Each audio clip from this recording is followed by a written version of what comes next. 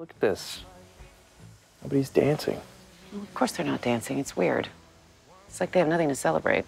What do you say we give them something to celebrate? What are you saying? I'm saying I love you. And whether I knew it or not, I wanted to marry you from the second I met you. Oh my God. Donna Roberta Paulsen, will you marry me right here, right now? Harvey, of course I'll marry you.